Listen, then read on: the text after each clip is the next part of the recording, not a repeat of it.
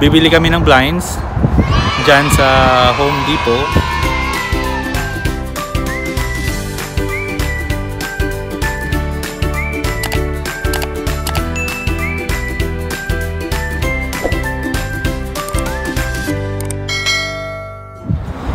Hello everyone! Nandito kami sa Home Depot ngayon kasi nagpaplano kami ni Mrs. na lagyan yung kwarto namin ng blinds kasi wala kaming pantakip. Eh nagbibihis kami baka makita kami ng mga kapitbahay namin. So samahan niyo ako sa loob. Sabi nila nasa aisle 8 daw. Eh nasa aisle 8 ako. Eh puro naman ano to, puro uh, pintura ang nandito.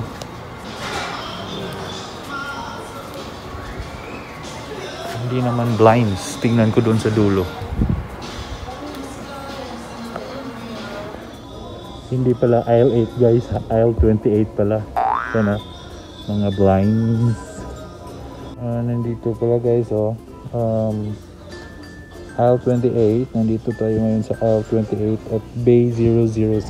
So ito yung bay 7. So nandito lang siya. Ito ata yun eh.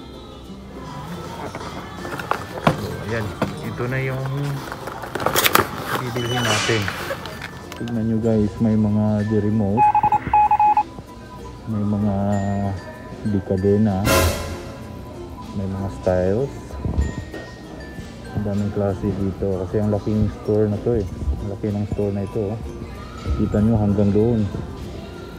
Daming tools dito guys.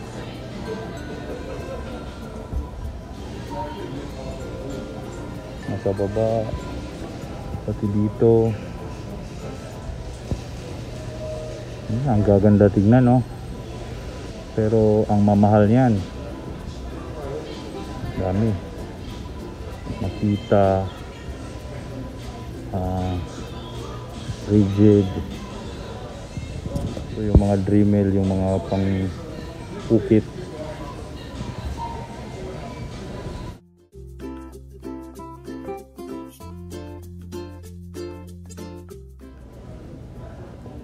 Yan, nandito na lahat, pati kahoy. Kung gusto nyong ah, magkumpuni.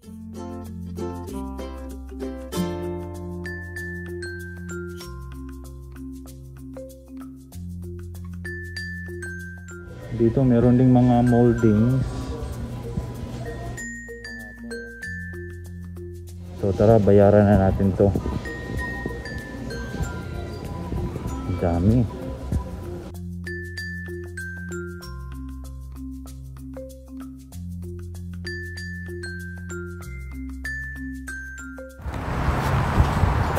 So ayan, nabili ko na guys.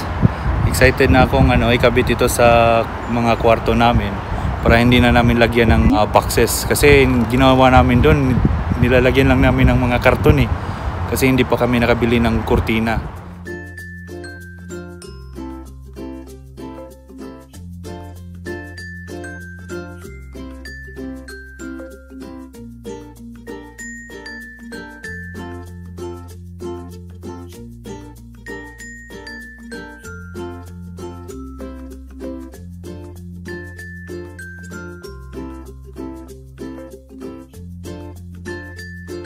Better.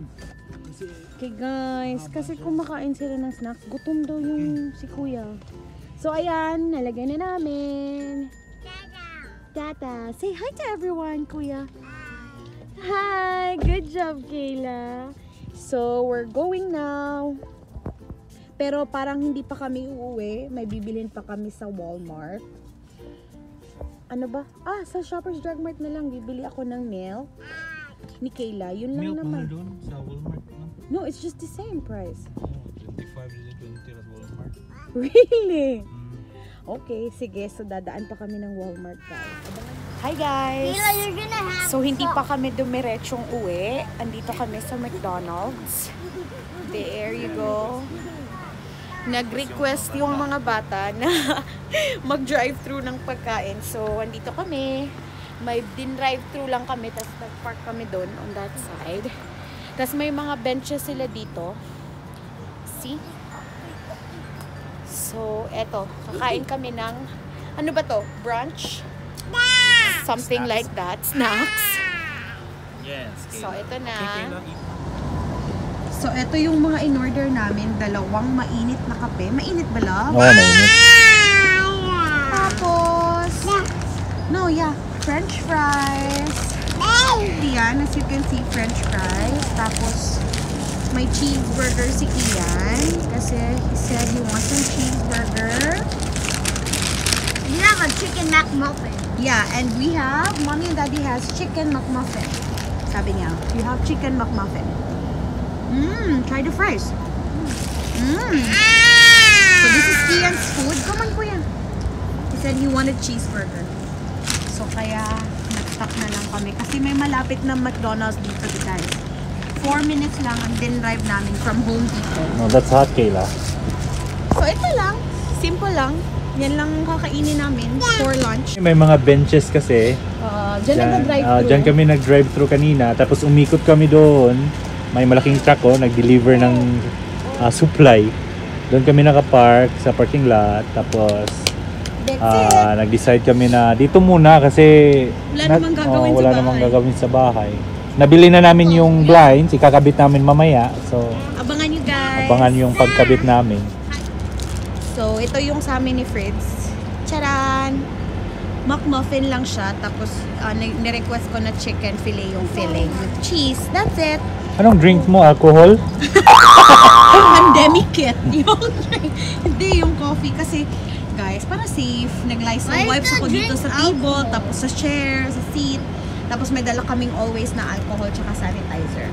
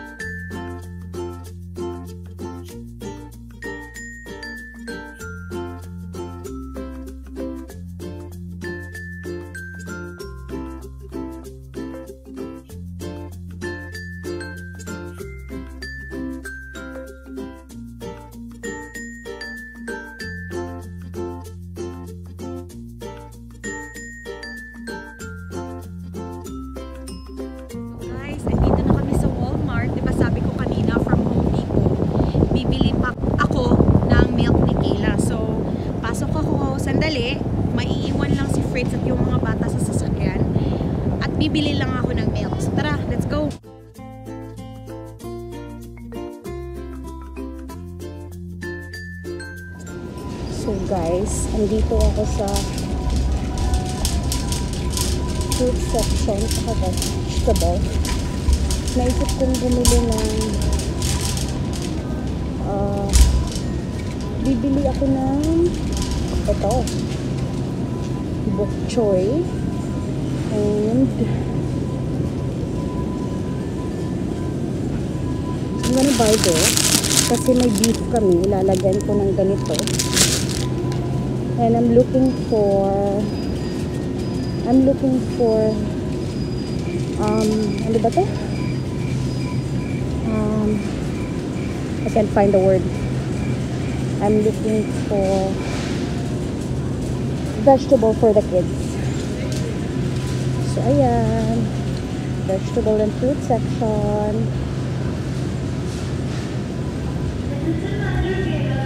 Maghahanap muna ako guys ha. Bumili ako. Andito ako sa section ng yan, ang daming ramen. Nakabili na ako. May clover chips pa. Tsaka pancit canton. So bibili din ako ng ramen guys. So ito yung kinakain namin ni Fritz minsan. Kapag gising pa kami ng midnight. So bibili ako. And I'm looking for the Indomie no- noodles. Meron din eh. Ah, so sale pala siya. See, it's from $4. So, 368 na lang. But I think one pack is enough. So, I can't find the the noodles that I was looking for. Hanapin ko na muna. So, andito na lang muna ako sa cooking oil. Kasi paubos na. So, I have to buy na lang. Kaso, wala silang cooking oil. Meron lang nila is corn oil. Usually, ginagamit ko is vegetable oil.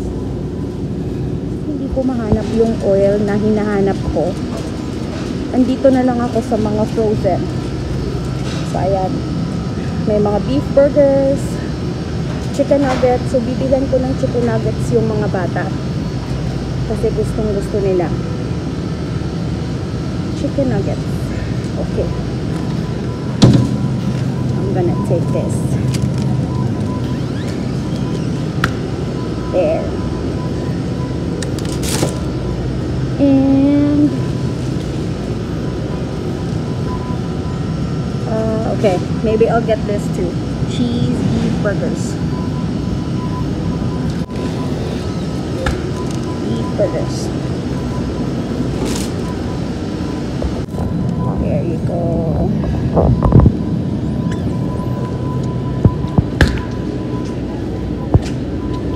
Sabi ko milk lang yung bibilhin ko.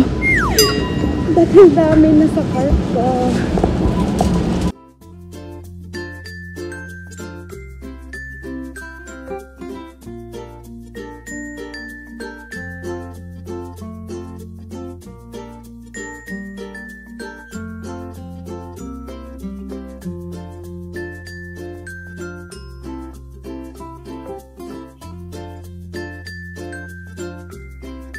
Ito lang pala siya. Hindi ko nakita.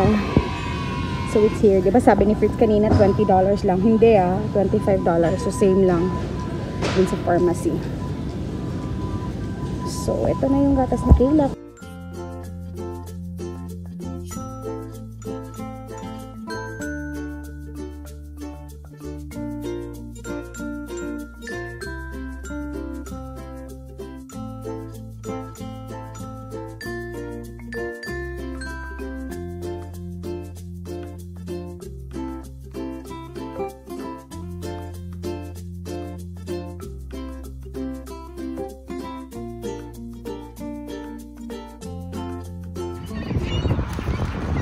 Ayan na siya.